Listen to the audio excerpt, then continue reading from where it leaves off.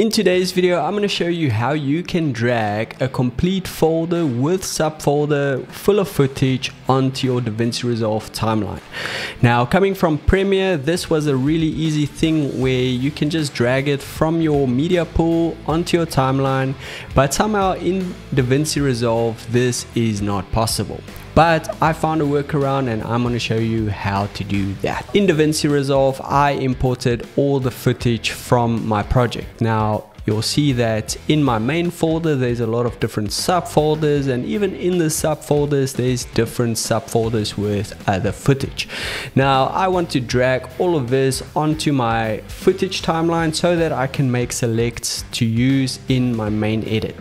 Now if you're going to try to drag the main folder onto the timeline you'll see that nothing happens.